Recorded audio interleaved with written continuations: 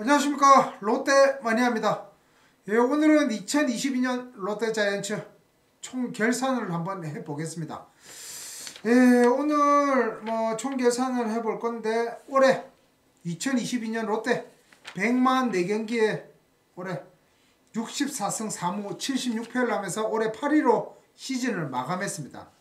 마감을 했는데 뭐 제가 저는 개인적으로 뭐 오늘 뭐 개인적으로 제가 데이터를 뽑아 놓은 게 있습니다. 제 주관적인 입장도 있고 객관적 입장으로 해가지고 뽑아 놓은 게 있는데 뭐 감독 때문에 어뭐진 경기가 올해 34경기입니다. 34경기고 감독 때문에 질 뻔했던 경기가 12경기입니다. 뭐 질 뻔했던 경기는 뭐 우리 좀 좋아서 이긴 경기인데 질 뻔했던 경기 12경기고 감독 때문에 어, 이길 수 있는 경기 무승부로 끝난 경기가 두 경기. 그 다음에 올해는 저 서튼 감독이 코로나로 어, 문경이가 또 수석 코치가 감독 대행을 했는데 문경 감독 대행 때문에 질 뻔했던 경기가 한 경기. 그 다음에 제일 제가 중계하면서 화가 났던 거는 감독이 초반에 경기를 포기했던 게 두 경기입니다. 어? 그리고 이거는 제가 감독이 이길 생각이 없었던 경기도 있었거든요. 한 경기가. 정말 납득이 안 갔습니다. 솔직히 말해서.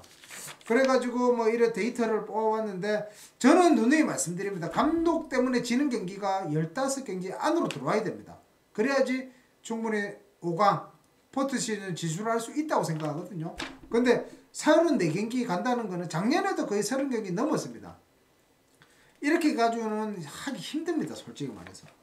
그리고 뭐 타자로 치면 뭐 올해 이대호가 올 시즌 하고 이대호 선수가 올 시즌이라고 은퇴를 하는데 은퇴를 했는데 뭐 이대호 선수가 뭐 지명타자 골든글러브를 받고 뭐 타격으로 봐도 뭐 이대호가 어 이대호 선수가 올해 타격 4위 그 다음에 한동희가 11위 그 다음에 전준호가 어 12위를 냈습니다. 뭐 한동희가 3할 7리 전준호가 3할 4리 그 다음에 이대호가 4위를 했는데 3할 3푼 1리 뭐 이런 타자들이 뭐 타자로서는 이 선수들이 이렇게 해줬고 투수로 치면 투수는 이제 반즈가 12승을 했습니다. 반즈가 12승을 하면서 어느 공동 다승 공동 8위를 했고 그 다음에 박세용이가 어 10승으로 15위를 했는데 반즈는 뭐 12승 하면서 방어율이 어 3.6입니다. 3.62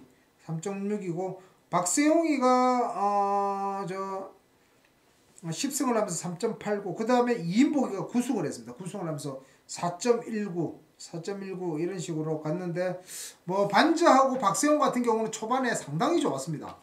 뭐 방어율이 1점대, 뭐 2점대 초반 이래 가면서 잘했는데 가면서 체력도 떨어지고 참 기복이 있어가지고 막 방어율이 좀 많이 올라간 것 같습니다. 그러니까 뭐 롯데 선수들이 뭐 그렇게 뭐 뭐, 뭐 특출나게 잘하고 이런 거는 이대호밖에 없었습니다. 어찌됐든.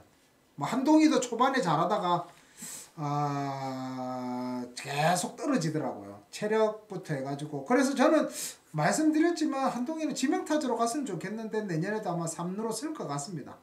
쓸 것 같는데 뭐 참 그게 안타깝습니다. 어찌됐든 뭐, 뭐 중간계 투진으로 보면 구승민이가 그래도 구승민 선수가 잘해줬습니다. 구승민 선수가 그래도 뭐 어, 방어율이 2.90, 2.90을 하면서 중앙개투진으로 잘해줬는데 하여튼 뭐 김원중도 어찌됐든 부진했습니다. 김원중도 뭐, 어, 뭐, 17 세이브 하면서 뭐 했는데 3.98 방어율이 마무리 투수가 3.98이면 더럽게 못하는 겁니다. 솔직히 말해서 보통 방어율이 진짜 많이 제가 양보해서 3점대 초반 아니면 2점대로 들어와야 됩니다. 마무리 같은 경우는.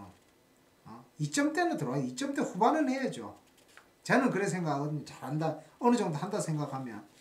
그렇기 때문에 뭐 저는 최준영이가 좀 마무리 했으면 했는데 마무리를 하다가 김원중이 돌아오면서 어, 보직이 변경이 돼버렸습니다. 그래가지고 최준영도 안 좋아졌고 어찌됐든 뭐 선수들이 보직이 변경이 되면 좀 부담을 느낍니다. 어찌됐든 안 느낀다면 그거는 거짓말이고 부담이 어, 느끼는데 뭐 체중으로 갔으면 했는데 바꾸더라고요. 김원중으로 그래가지고 그래 갔는데 어찌됐든 올해 롯데가 8위를 하면서 또 포트 시즌은 5년 연속 못 올라갔습니다. 못 올라갔는데 어찌됐든 뭐 저는 말씀드렸습니다. 뭐 감독 단장 교체를 했으면 좋겠다 이랬는데 그냥 뭐 재계약하고 뭐 서튼 감독으로 가는데 어찌됐든 작년하고 똑같이 말씀드리지만 작년에도 후반기 끝나고 나서 아니 후반기란다 정규리그 끝나고 나서 말씀드렸습니다. 내년에 감독이 생각을 바꾸지 않으면 성적 내기 힘들다고.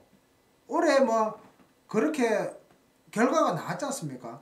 내년에도 서튼 감독 올해같이 작년같이 그렇게 하면 성적 나기 힘듭니다. 솔직히 말해. 올해 뭐 FA로 유강남 노진혁 이렇게 데리고 왔는데 어찌됐든 박세웅이 박세웅 선수가 군대 안 가고 뭐 내년에도 뛰는데 뭐 그건 보탬이 되지만 모르겠습니다. 저는 박세웅이 갔으면 했는데 내년에 아시안 게임 발탁이 못 되면 어찌됐든 군대 현역으로 가야 됩니다. 이제 상무도 못 갑니다. 그렇기 때문에 어떻게든 내년에 아시안 게임에 좀 뽑혀가지고 금메달 따야 되는데 어떻게 될지 그럼 지켜보고 하여튼 저 감독이 좀 잘해주고 뭐 FA 아까도 말씀드렸지만 유광남 노진혁이도 보강을 했고 하기 때문에 좀 음, 내년에는 뭐 그래도 성적은 조금 올라가겠지만 감독이 어떻게 하느냐에 따라서 더 성적이 포스트 시즌 올라가냐 못 올라가냐 이거는 저는 개인적으로 감독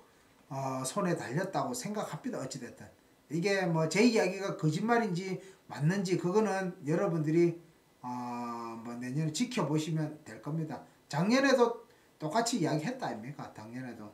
작년에도 제가 서튼 감독 생각 안 바꾸면 성적 내기 힘들다. 그래 말씀드렸잖아요. 올해 성적 났습니까? 안 났습니까? 안 나잖아요. 그러니까 서튼 감독이 생각을 바꿔야 되는데 저는 개인적으로 봤을 때는 생각 바꾸기는 힘듭니다.